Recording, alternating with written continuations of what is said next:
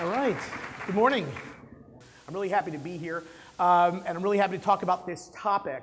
Uh, before I get into really the agenda and kind of what we're going to talk about for the next 40 minutes or so, as well as my own background, a couple questions for you in the audience. Um, pretty straightforward. Raise your hand if you were on LinkedIn today. If you've already been on LinkedIn for some reason today, okay.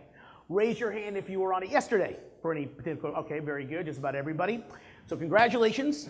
This room is in about the 5% place when it comes to LinkedIn usage. And I bring that up because that's really what we're going to talk about. When we use tools like social and LinkedIn, we use them often through our own perspective, whether it's sales or marketing or business development, assuming that the entire world we try to connect with in these platforms sees it and uses the tool the way we do.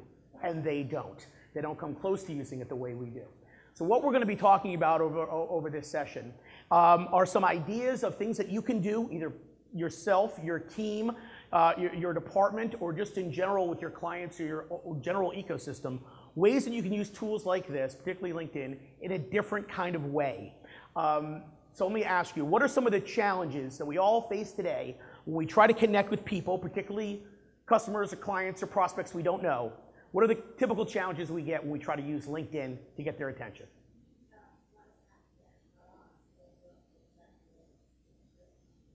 So we have this issue around the invitation itself to connect, and they're not always on as often as we are, and there might be a lag time, or it might be weeks or months before they accept. That's very true. What else is a challenge? I agree. What else is a challenge? Yeah. Yeah, because it's like it's one thing to be at the awkward, you know, networking event at somewhere like this, where everybody walking in the room has kind of signed up to network, and we're all got our name badges on, and we're all looking at everybody's name badge and saying, "Wait, are you a lead? No. Are you a lead? No. Oh, Schering-Plough. I work in New Jersey. Hi, I'm Jeff." And we have this weird moment where we kind of can break the ice, but in LinkedIn on those strangers we can't. That's a challenge. Any other challenges? Yeah.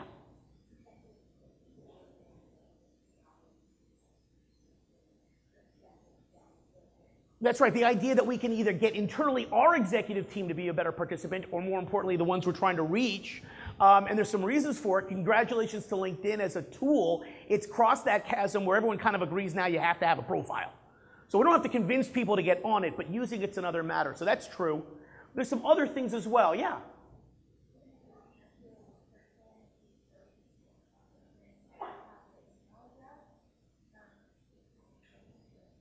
That it's absolutely right. There's, there's some real functional challenges with the tool for a variety of reasons. The biggest one, you kind of hit on it with if the email is even the appropriate one, or do I have the email, or how do I connect? But there's also the issues of think about all the customers and clients we have that use tools, maybe it's Gmail or Google Apps, where six years ago, Google separated the inbox into four tabs.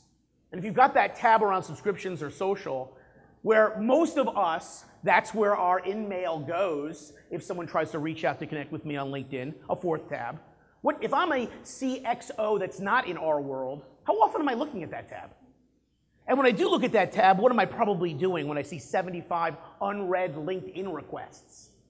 I hit that box up top that says select all, archive. Ah, so cleansing. Feels so good. And that's right. And all of a sudden, we have this challenge to even get their attention in the tools we have. So that's the kind of stuff we're going to talk about. There's some other things as well that challenge us. My hope for this session before lunch is that I offer up to you a handful of ideas that you can try this afternoon, tomorrow, or throughout the week to dramatically change the way that you're not only using the tool, but getting the benefits it promises. Um, so a couple of kind of ground rules about this session. Uh, first, um, everything I share with you, I do myself. So uh, I'm, I'm, my perspective is I've been in sales for 30 years. I've been doing training and consulting in, in the sales world for about 12 work with clients all over the world, clients like Microsoft and Salesforce and Google and Deloitte and Pricewaterhouse and others. I also teach a variety of sales programming uh, here in Boston where I live, over at Harvard Business School and at Sloan. I'm kind of neck deep in this. Um, and the reason I'm neck deep in it and the reason why I kind of, I'm here talking about this is that I think most of us get it wrong. As you'll see in the next few minutes, I'm very contrarian with this stuff. Now, when I'm contrarian, I'm not being contrarian to be weird or different. I'm being contrarian because I think a lot of stuff that we assume works doesn't. So what I'd ask you all to do is this. I'm challenging some ideas. I want you to kind of practice that out when you leave here. Ultimately, whatever I share with you is just one person's opinion. This is not gospel. I don't work for LinkedIn. I've never worked for a social media or social engagement tool. But this has just been my experience and my client's experience over the last 10 years. So, given that it's not gospel, if I share something with you today that's wildly different from how you're using LinkedIn, but it's working for you, then keep doing it. I'm not asking to challenge the things you're already having success with. But if you are not getting the responses or the connections or, or, or, or, the acceptance that you want on the tool, I am going to challenge you to try some of this stuff. Because it's, again, it's not intuitive and why would it be? Um, the reason why it's not, and by the way, um, I'll be showing some slides, obviously. Um, uh, all, my slide deck will be available to all the attendees here. My speaker notes are in there. So if you just want to listen, that's cool too. You don't have to like take notes or anything. Um, but if you want to, that's fine. Um, so one of the reasons why uh, this is such a challenging environment, this idea of LinkedIn and others, has to do with something called social paradigms, which is a, a phrase I'm sure a lot of you have heard before.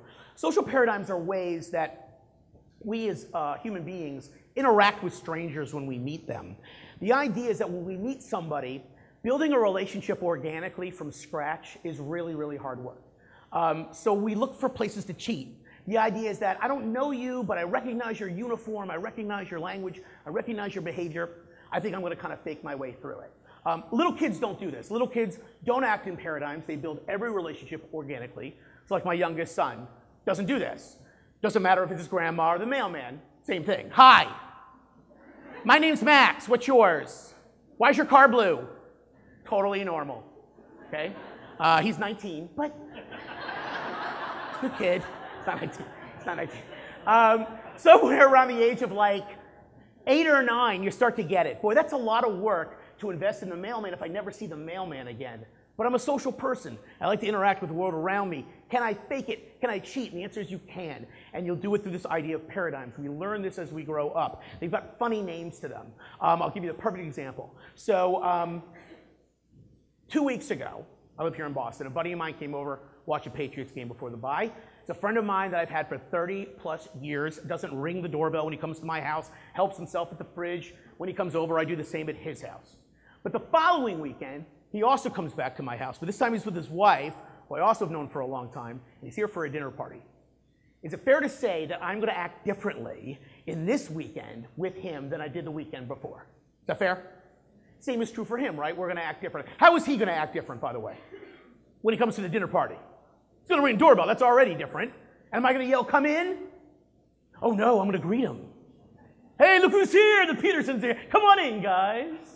Big, big, big show. Can I get your jacket or coat?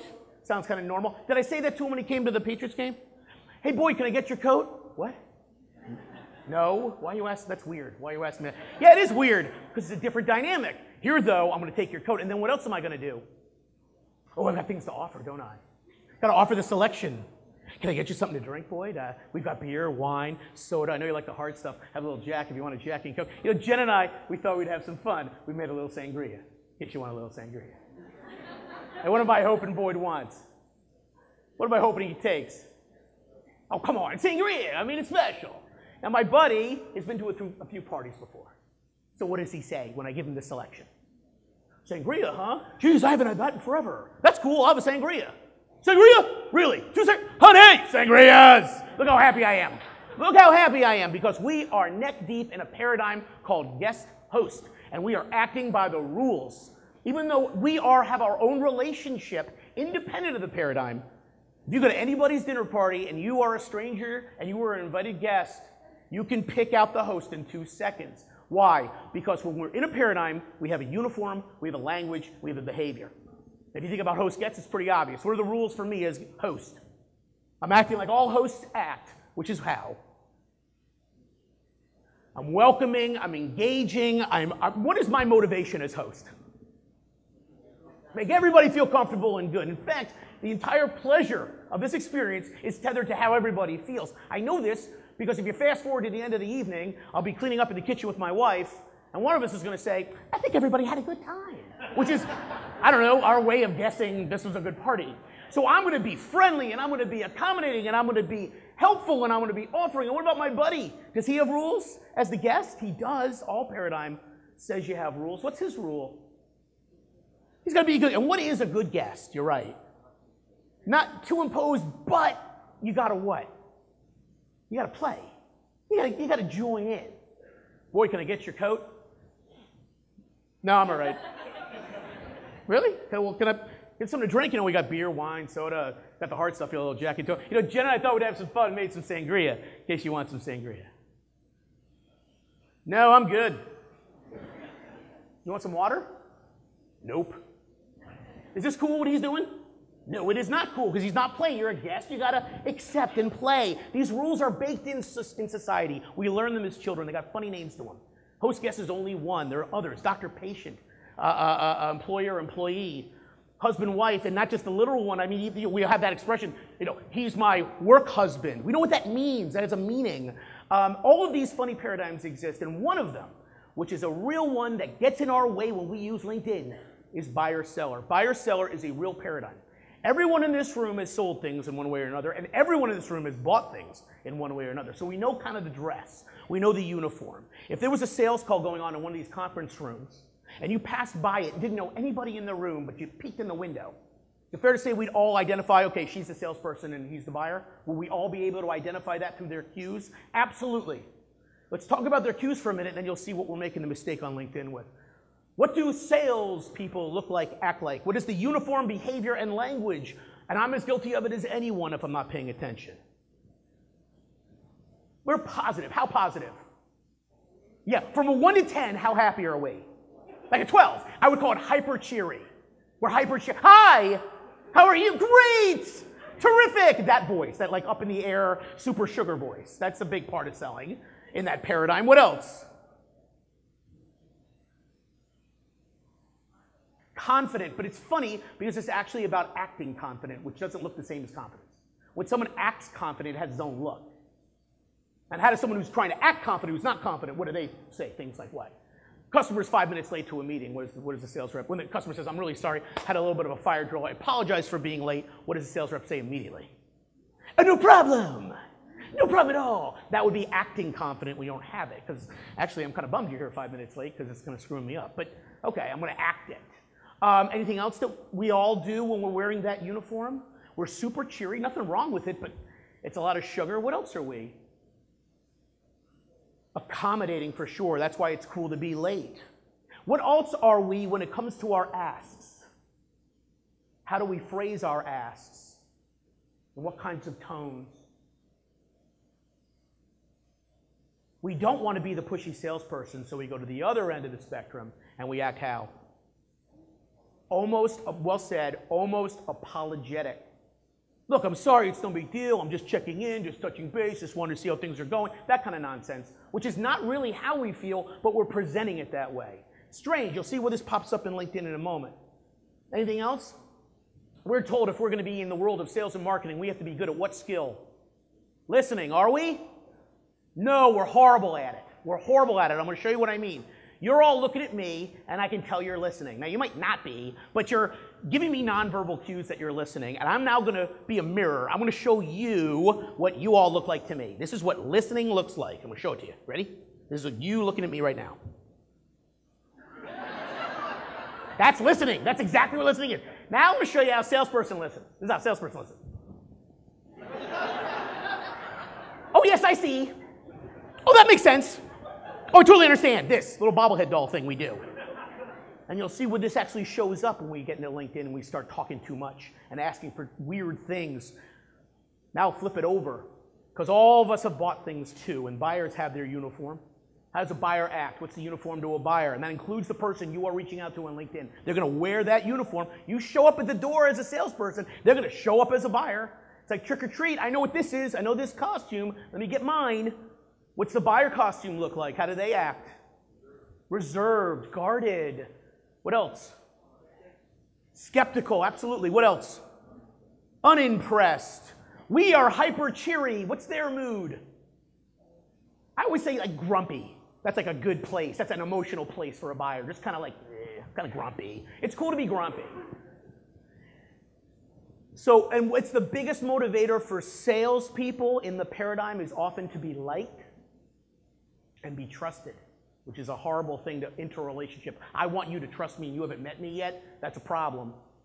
The buyer is motivated by one motivator do not reveal intent. Do not reveal intent. What brings you to Boston Honda? Oh, just looking. Really on a Saturday with your wife and three kids, you're just looking. Okay. But that's what we do. Instinctively, don't reveal intent. If we reveal intent, they will have an edge on us. And this is a real problem. And this is a problem that showcases itself very easily when they're not even looking at us because we're reaching out through tools like social. And we do things like what? How, what, what is the transfer of that idea when we go out to LinkedIn, when we reach out and try to connect? We might have two paragraphs to say about our delightful product, service, or company. We might have a handful of links that we think would really showcase our value proposition. But does that buyer want to read all this? Does that buyer want to engage that way? Absolutely, absolutely not. What we got to figure out when we look at these tools is how do we switch this paradigm? The paradigm I'm going to have you think about this morning is another one, and we're in it right now, and it's called teacher student. We're in it right now. Everyone here has been to school. Believe it or not, everyone here is taught. If you've ever given a stranger directions, in that moment, you were acting like a teacher. You're doing very predictable things. We're in it now. We've been in it for 10 minutes. You're all acting like perfect students. I'm your teacher. That's working. It's very predictable. What are you all doing that students do? Which means you're quiet and you're still. That's a huge element that we're going to take into these approaches with LinkedIn. We have to calm down and we have to relax. We have to stop being so buzzy about this. That's one thing. What else? What else are you all doing? All students do it. You got to listen, but not just listen. Listen with the intent to what?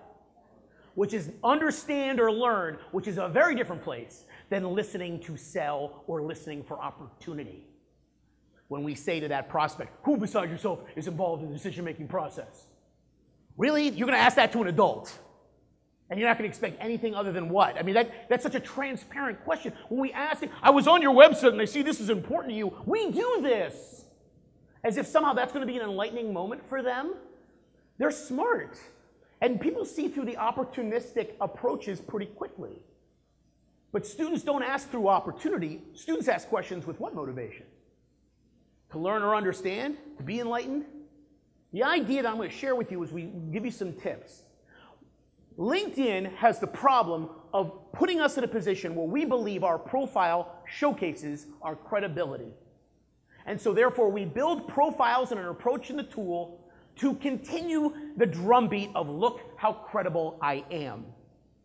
But credibility is a motivator of salespeople and of marketing people, not of students.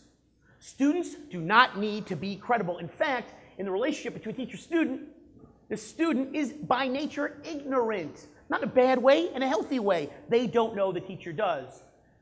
What motivates connection, what gets people to connect with you on these tools is not your credibility, it's your curiosity.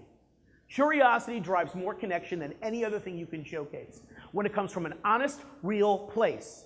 If your goal on LinkedIn is to get the connection or have the meeting or have the interview or have the dialogue, you will enjoy the lousy conversion rates you have today. But if your goal is to learn, is to be curious about what they do, how they do it, and who they do it with, and how and why, you might find the engagement level goes up. I know, uh, has Alec Baldwin already spoken, or is that tomorrow? That's pretty cool. All right, so uh, one of my favorite movies, Glengarry Glen Ross. If you haven't seen it, it's on Netflix. It's great he gives a sales motivation speech uh, as part of the movie. And if you remember, in the movie, he, on a chalkboard, he's got two acronyms. One of them is ABC, always be closing. The other one says AIDA. And if you, if you checked out the movie, you can see it. AIDA is an old sales acronym. It stands for attention, interest, desire, and action. The four emotional states we want our buyers and customers and prospects and partners to experience in order to consummate the relationship to go where we want to go. Attention, interest, desire, action. Now, the reason I bring it up here, LinkedIn is a wonderful tool for attention. It's a terrible tool for interest. And what most of us are guilty in doing is trying to inspire interest when really all we should be doing is trying to inspire some level of attention. So let's take a look. There we go. There's me. All right. Um, already mentioned this again. It's already in the deck uh, that buyer seller is brutal, and what also makes it brutal as sellers, we have low levels of authority and low levels of social value. Now, authority is inherent in the relationship, buyer has the power. But social value, which is critical in building any kind of peer relationship with strangers, When you walk in the room with that uniform of seller, your social value is also low. And the buyer, we've already spoken about all the things that the buyer is generally going to present. Their position is of high authority, which is baked in, but also high social value. And that's why we're like this, and that's why we struggle to connect. But the student one's a little different. Because that we're still, because we're calm, because we're respectful, and because we don't interrupt, and we're motivated by curiosity, those elements keep our authority low, but our social value goes up. The teacher, if they take that role, and we'll show you how, they get more engaged. Look at me today. Right now, I'm in the teacher mode. What is the teacher mode? I am going to be highly communicative. I am going to be driving the conversation. I have to be respectful of the audience and all of your questions. I have to have the answers to this topic. And I'm focused on you. When you're a student, you can drift in and out of the moment. Teachers cannot. We have to stay present the whole time. What does that mean? They continue to enjoy their high levels of authority and they continue to enjoy their high levels of social value. What I'm basically saying is this if we can figure out a way in our messaging in LinkedIn and other places to inspire a teacher student relationship, it's going to be very comfortable for our customers. Because they were, as a buyer, high authority, high social value, as a teacher, high authority, high social value. How are we going to do it? All right, nothing here of real surprise. Why is this even hard at all? Ultimately, I think the biggest reason why these tools are so difficult is that fourth one down. Social tools like LinkedIn and Twitter do not make you a better networker. If you are already good at networking, you have a new tool that you can use to network. But if you walk into those rooms not really knowing how to network, it can be very challenging. Mention the AIDA. So let's talk about how we can actually do this. All right. First, let's talk a little bit two or three minutes about networking and see how we're going to transfer this to LinkedIn. Strong networking moments, and you're all going to be doing this. Generally, I've always approached those moments not with a goal of quality, but a goal of quantity. If I'm going to be in a room with 100 strangers for a 30 minute networking event, I want to limit my networking moments to three or four minutes and maybe then, then talk to, I don't know, 10, 12 people in the hour or six people in the half hour.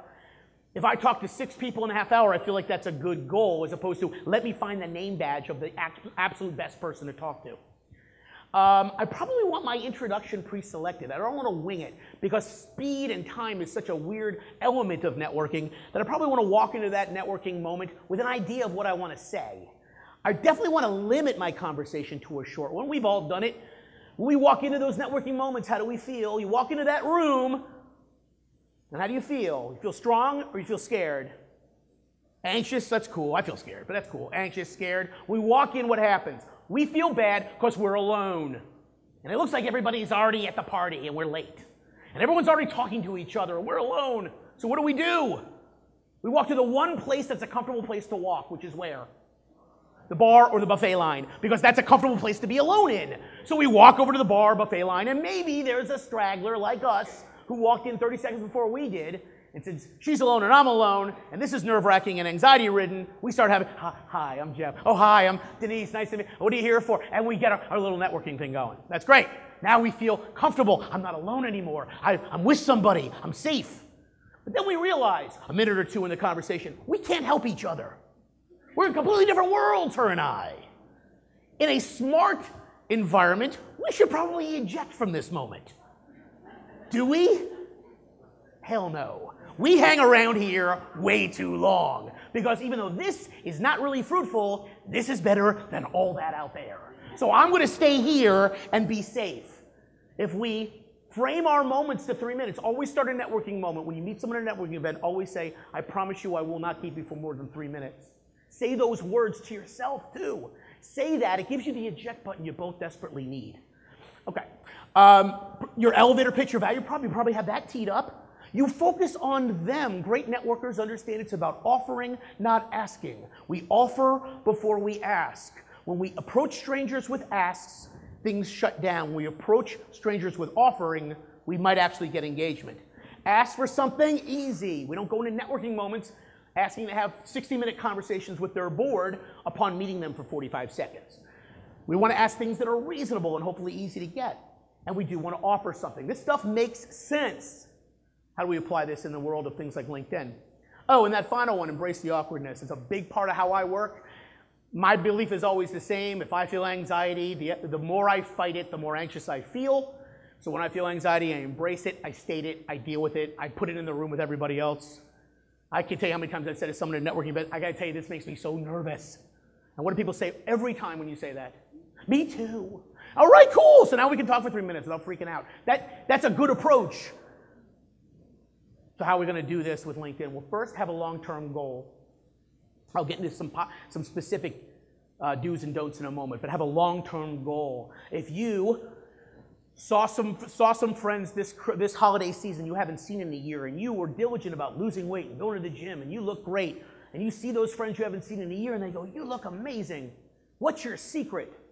Would you then say, well, in May, actually on the 4th of May, it was that extra push-up I did.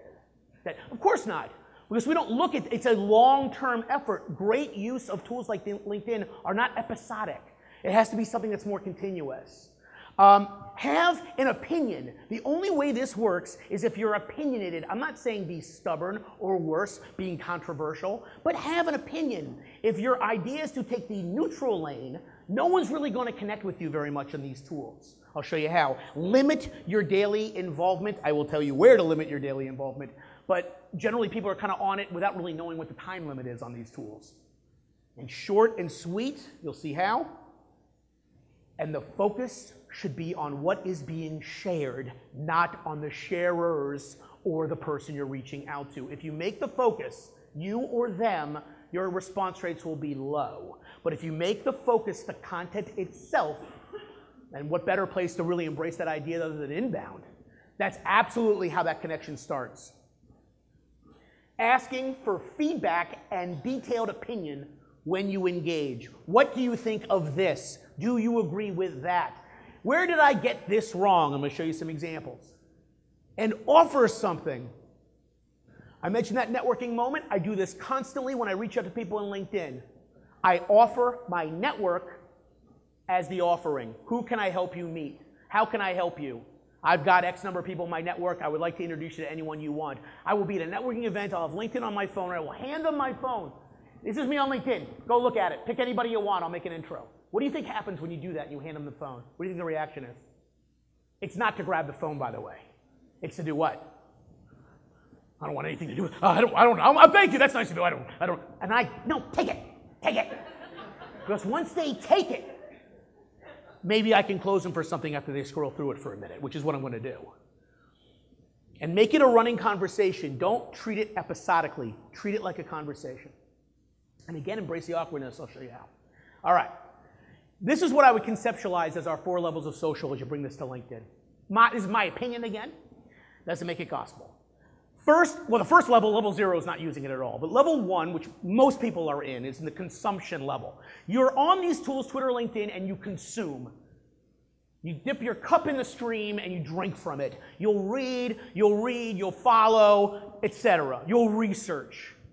The second level, after for some of you in a smaller group, is to go beyond just consuming, it's consuming and also sharing which takes levels of vulnerability and takes levels of confidence to do. The idea is that I'm going to share things into the ether. The third one, the third level, after one shares, if they continue on the journey, you share plus opinion. Starts with I read something, but I read it for myself. St- stage two, I read it and I shared it out there. Stage three, I read it and said, this is pretty interesting. Okay, that little, this is pretty, that little editorial is my opinion. And the fourth and, and the ultimate place to be with social is you're now the creator of the content. Now, the reason I'm showing you this is when I show you these do's and don'ts, I want you to consider selfishly where are you? If you're at a one, my challenge to you is to try to be a two with these techniques. And if you're already a two, I'll challenge you to be a three. But if you're barely on LinkedIn now, and I'm not going to say sit here for 45 minutes and say start writing blog posts because you're not going to. That's cool. Just go one step above as you kind of try out these new techniques. So here are the rules, according to me anyway. Best used during the bookend hours is not true with Twitter, but with LinkedIn, the most effective place to use the tool is in the bookend hours of the day, which is morning and evening or before you go home. That's where traffic peaks, particularly in areas like accepting of new uh, invitations, responding to requests. Those, the, the, the hours of use spikes early, spikes late, is dip in the middle. Twitter's the opposite. Twitter tends to do this. Start with recent updates. What do I mean by that? The most effective place to start in using these tools is in that top right corner where you get the daily 15 people in your network that had an update. Maybe they got a new job, maybe they added a certification, maybe they changed their photo. Why is that such a prime bit of real estate for us? Because those are 15 people in your network that what? We're on LinkedIn in the last 24 hours. That's the first place you start. I do not use, I'm sorry for my LinkedIn friends in the room, I do not use InMail. I do not use the vehicle within the tool for the reason I described earlier with Gmail and others. So what I will do is I will call all 15 of those people that have had an update, many of which I barely know, many of which I haven't talked to in a long time. Hi, Joanne. You probably don't remember me. I'm Jeff Hoffman in Boston. I know we're connected on LinkedIn from a few months ago. I think you attended one of my workshops. I was on LinkedIn this morning, and I see you just updated your profile. I forgot you used to work at Dell. And that's kind of how I drive this. I don't look for opportunities at Dell in LinkedIn. I look for people who are already on LinkedIn in the last 24 hours because that's a more reasonable place to start. Because I don't want to dip my, my cup in the pool of people who haven't been on it in a year. Ways to keep in touch is another one. Many people will add in their ways to keep in touch or in their personal profile alternative ways of reaching them, and it's not always just cell, and it's not always just email. I've seen it in IM, I've seen it through their company site. Pay attention to it. Whatever tools you're using, I highly recommend that you use this tool with some level of an existing platform. When we start opening up new windows and new applications, it slows us down in our ability to use this. Whether it's any of your CRMs or, any, or, or HubSpot itself, we want to be able to introduce this into the place that we're already living. Stay within one degree. Don't bother with twos and threes. If you don't like the number of ones or the first connections in your network, your marching orders is to add, not to expand. Offer access frequently. It's a big thing with me. I don't really think about offering my network to people, and I've heard people say to me, aren't you concerned that like you might have some people in that network, they're, they're you know, have a lot of power or influence, and do they really want their name just passed out and given out? Well, I've had it happen. I've had people say to me, Jeff, I just got a call from someone. How did they get my name? I say, oh, I, I probably did it on LinkedIn. Well, Jeff, in the future, I prefer if you didn't do that. I use LinkedIn really for my own personal network. I'm not really interested in being hounded by a bunch of your salespeople. All right, so he's a little pissed. So what do I say? I always say the same thing. Absolutely. I say absolutely. I respect anything you want to do, and that's cool. I'm gonna uh, when I get back to my desk or on my phone, I'm going to take you out of my network. What? I'm to take you out of my network. Why are you doing that? Because I got a bad memory, man. And I got about 5,000 people in my network, and I can't remember what list everybody's on. This is the guy who likes some emails. They only want things from the US. They only want new jobs. I'm not into that. If this is a networking tool, this isn't Facebook. This is not just people in my life that I've met. This is a networking business tool. That's how I use it. If you don't want to play, that's totally cool. I'll take you out of the network. But my assumption is when you're in my network, I'm, I'm offering your name out to anybody. And what do you think happens in response when I explain how I use it to that very person who didn't like it? Oh, no, no, no, don't be so dramatic, Jeff. All right, all right. And somebody say, take me out. But no, I mean, and we'll get to then who gets in your network, which is another question. Diligent with coworkers. Every opportunity you covet, you are one jump away through somebody you currently work with. Trust me on this one. You work with 20 people, you work with 200 people, you work with 2,000 people. Are all 20, 200, and 2,000 in your network? If not, there's your marching orders for the next two days. Go and connect with all the people that are not in your departments that you currently work with, and you will be shocked at how quickly you're going to expand that network to people you want to reach. Be diligent with the people you work with. Those are the most powerful connections because the obligation is so high to get a return. And publish and comment. LinkedIn has done an, an incredible job over the last couple of years in making it so incredibly easy to publish and to publish nothing more than maybe two sentences or 200 paragraphs. You can really do whatever you like there. The joy of it is, in the old days, for those of us who've been blogging for a while, you had this difficulty not only in attracting people to your blog, but staying current. Like, I, I, put, I write a blog post, I put it up there, it's August 7th. If I don't do anything and it's August 28th, which is only three weeks, that August 7th posting looks old. And all of a sudden, I started seeing, after two or three weeks, people who were following me or reading started to drop off. So this race to always have new stuff up there was really hard. In LinkedIn, because of the way LinkedIn works and how you publish, you unless they're really looking at you, because you're publishing into the stream of updates, your frequency gets a little bit measured. You don't have to feel so compelled to do it. And the comment section would go well with anyone who's looking to kind of share and comment and have an ask, which we'll get to in a minute. Have an ask. All right, so here are some do's and don'ts. Take what you will from it. Must have 500 connections and a professional picture. Maybe not everyone in this room already has that. That's cool. That's what you can work on then. First, let's start with the 500 contacts, the obvious reason, because that's the threshold where it's 500 plus. And what's happened now is if you're a 472, it looks weird. This looks weird if you're a 472. So go get another 28 contacts. Well, I only have 19. I only have 150. All right. So start with your uh, start with your um, uh, coworkers and start to move on. Professional picture, not the selfie while you're driving. Have a picture that doesn't. Here's what happens when people other than us look at your profile. When, when our buyers look at, pro, we look at profiles for a variety of reasons, for opportunity. When they look at our profile, they're looking for things like, they're basically looking for a sniff test. Is this someone like normal? They're gonna be on, the, on your profile for about 30 seconds. So if you got a goofy picture, you might actually hurt yourself. Keep it current, particularly where you're currently working and what you're currently working on. If it's not current, the, imp the implication is you're not on it enough where the tool is something that you use frequently. This is a biggie. You're going to reach out to someone and invite them to join your network. Have a custom message, even if it's only five or six words long, and I'll tell you why. I will typically get, and this is true with most people, anywhere from 5 to 15 invitations to connect a day. I am not looking at them every day. I generally look at them maybe once a week. So I'm looking at 50 or 60 invitations to connect. Now, I have my rules, and you should have yours. For me, everyone should have rules for who's in your network. For me, it's very simple.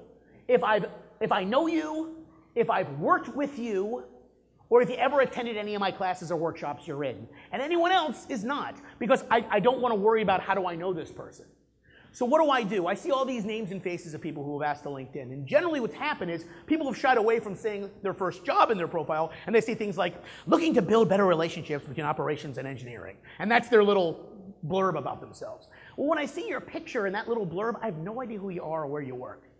The only other place I could go without opening your profile to figure out who you are is that little corner little bubble that shows me the message you've attached in your invitation. And if you haven't written one, it's a default. Joe Smith has invited you to connect. So if I see a face I don't recognize with a title I don't recognize and no personal message, and I'm getting 50 or 60 of these a week, what do you think I'm doing? I'm not accepting the invitation. So what I'd ask you to do is even if it was a short message, I see you went to Duke, so did I. I don't care what it is. If it's something specific, it raises the obligation. When people get messages that they believe were either cut and pasted or in some level of spam, they ignore. You have to make it more personal. I think I saw a hand actually. Yeah.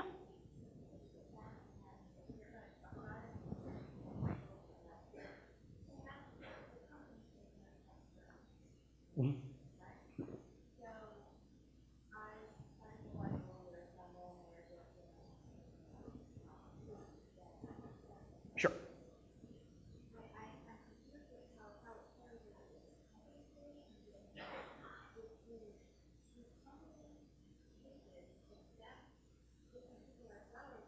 They can, but generally think of the company page as a way, it's generally a, a, a, a, wonderful marketing kind of brochure in the network. So what will often happen is sometimes you can tag your company's page if you do a posting, or, and vice versa. So if I'm following my own company, when my company posts something on LinkedIn, they could actually connect to me if they wanted to. But the idea of building the network within the company side is probably not a very fruitful effort. You want to really focus it on the personal. Ask permission particularly when you're using it as a research tool. You're having a meeting with a prospect or a partner, you look at them on LinkedIn, and then you have that meeting. So before we get started, I understand you went to UNC Chapel Hill, says you. Yeah, I did. Did you go there? No. I just saw that on LinkedIn this morning. Okay, that's creepy, a little bit. It's a little stalkery. What I always advise doing is if you're going to use it as a research tool, you ask permission. So when you close for that meeting, you close for that conference. Hey, are you on LinkedIn? Yes, I am. Are you okay if I do on part of my prep, read more about your background before I come to the meeting? I've never had anyone tell me no because it's public.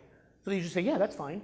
I say, yeah, I'm on LinkedIn too. If you want to check out my background, feel free. I'll see you on Thursday. And then when I walk in and say, I see you went to UNC Chapel Hill, it's not so creepy because I asked for permission three days ago.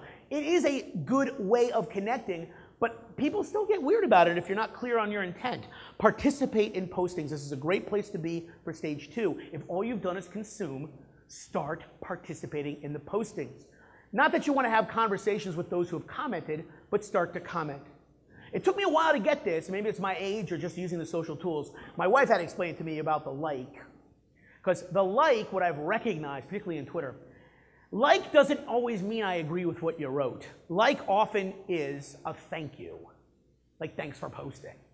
That's a good way for you to start using those emojis and those kind of symbols. Don't think that I say like I'm, a, I'm you know, it's a way for you to connect in a little softer, easier uh, uh, place. But now let's talk about the things you shouldn't do, because there's plenty of those. Make a, don't make LinkedIn a substitute for your CV, cover letter, or resume.